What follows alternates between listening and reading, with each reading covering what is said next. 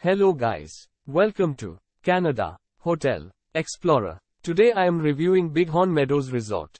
It's a 4-star hotel. Please use our booking.com link in description to book the hotel and get good pricing. Located in Radium Hot Springs on the Springs Golf Course, this resort features a seasonal outdoor heated pool with a hot tub and rooms include free Wi-Fi. The resort is located outside Kootenay National Park.